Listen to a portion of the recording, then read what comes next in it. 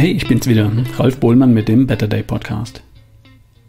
Ich habe gestern ein Gespräch geführt mit jemandem, der meinen Podcast nicht kennt. Jemand, der auch nicht gezielt auf der Suche war nach Informationen zum Thema Gesundheit, Better Day und so weiter. Ich wollte wissen, wie jemand über die Idee von der besten Version denkt, was das für ihn bedeutet und worauf es dabei aus seiner Sicht ankommt. Ein ganz normaler erwachsener Mann mitten im Leben, mit Familie, Job und allem drum und dran. Das Gespräch war für mich wichtig, um auch mal wieder out of the box zu denken und aus meiner Blase mal rauszutreten. Hole ich die Menschen ab, die ich erreichen möchte? Liefere ich die richtigen Inhalte auf die richtige Art? Ich fand das Gespräch super spannend und äh, du kannst das Gespräch übrigens auch anhören in der aktuellen Folge von Erschaffe die beste Version von dir. Egmont Rosenbeek war mein Gesprächspartner. Eine Frage lautete sinngemäß, was sind die Herausforderungen? Warum sind viele nicht da, wo sie gern wären? Die Antwort auf diese Frage ging etwa in die Richtung, naja, wir werden halt älter und mit dem Alter sind wir meist nicht mehr so sportlich wie früher mal. Und dann nehmen wir halt zu. Oder wir müssten uns beim Essen halt mehr zurückhalten, aber das tun wir eben nicht. Zumindest nicht immer. Und dann sind da schnell mal 5, 6 Kilo, die da nicht hingehören. Logisch, das stimmt. Wenn ich für mich mal zurückdenke an die Zeit, in der ich so um die 30, Mitte 30 war. Wenn mich heute einer fragt, was hast du damals gemacht? Dann fangen mir spontan folgende Dinge ein. Ich habe geheiratet. Wir haben ein Kind bekommen. Dann das zweite. Ich habe mit meiner Frau ein Haus gebaut, mit allem, was dazugehört. Finanzierung, Grundstückssuche, Planung, Bau, Einrichtung. Ach ja, ich habe ein Unternehmen gegründet, Mitarbeiter eingestellt und so weiter. Und das alles gefühlt irgendwie gleichzeitig. In Wirklichkeit hat sich das alles bei mir zwischen dem 30. und dem 35. Lebensjahr abgespielt. War eine ziemlich wilde Zeit. Und all das war wichtig, da steht ja, da stehen ja schließlich Entscheidungen dahinter, die potenziell mein ganzes weiteres Leben bestimmen. Dass das nicht ganz so stimmt, das merkt man dann 20 Jahre später, aber trotzdem, das alles ist Teil meiner Vita. Und jeder einzelne Bereich, Partnerschaft, Kinder, Hausbau, Unternehmensgründung, fordert schon für sich allein genommen den ganzen Mann oder die ganze Frau.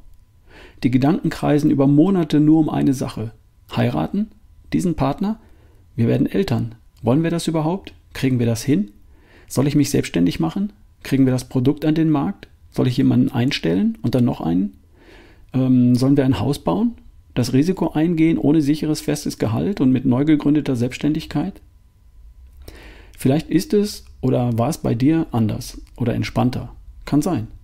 Aber die Zeit ab 30 ist für viele eine aufregende, spannende und auch fordernde Zeit, in der der Fokus auf Wachstum ausgerichtet ist. Beziehung, Kinder, Familie, Hobby, Job, Wohnung, Haus. Man ist auf dem Höhepunkt seiner körperlichen und mentalen Leistungsfähigkeit oder fühlt sich zumindest so. Jetzt oder nie. Und gesundheitlich läuft doch alles.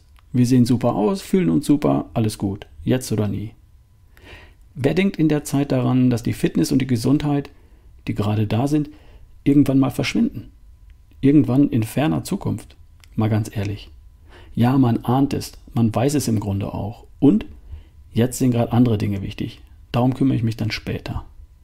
Und dann steht man ein Jahrzehnt später oder auch zwei vor dem Spiegel und denkt, ups, jetzt bin ich wo gelandet, wo ich eigentlich nicht hin wollte.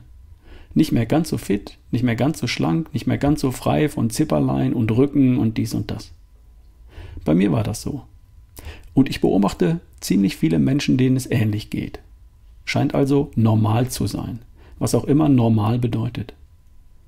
Als mir klar wurde, dass ich in einer extrem aufregenden und spannenden Phase meines Lebens den Fokus mehr auf Familie, Haus und Job gelegt hatte und dabei die gesunde, schlanke, fitte, fröhliche Version von mir etwas aus den Augen verloren hatte, habe ich langsam aber sicher den Schalter wieder umgelegt. Das ging nicht von heute auf morgen. Die Erkenntnis, dass da was zu tun ist, kam auch nicht von heute auf morgen. Das hat sich eher über einen gewissen Zeitraum aufgebaut. Aber es ist mir gelungen. Die Dinge, die mich mit 30, 35 voll und ganz gefordert haben, die gingen irgendwann wieder leichter und entspannter von der Hand. Mit mehr Lebenserfahrung lassen sich auch wichtige Entscheidungen leichter und schneller treffen. Es ist wieder Zeit und Aufmerksamkeit verfügbar und du kannst entscheiden, dass diese frei gewordenen Kapazitäten gut angelegt sind, wenn du sie in Richtung auf das lenkst, was die Basis für ein erfülltes und glückliches Leben sein kann. Deine Gesundheit, deine Lebensfreude, deine körperliche und geistige Leistungsfähigkeit, dein Glück, die beste Version von dir. Wenn das bei dir bisher nicht auf der Agenda stand, weil andere Dinge für dich einfach wichtiger waren, vielleicht ganz bewusst und völlig zu Recht, dann kannst du dich ja entscheiden, den Schalter wieder umzulegen. Dann, wenn du bereit dazu bist. Und nur dann. Und wenn du den Schalter umlegst, dann ist es nie zu spät. Das weiß ich. Die nächste beste Version kannst du jederzeit erschaffen.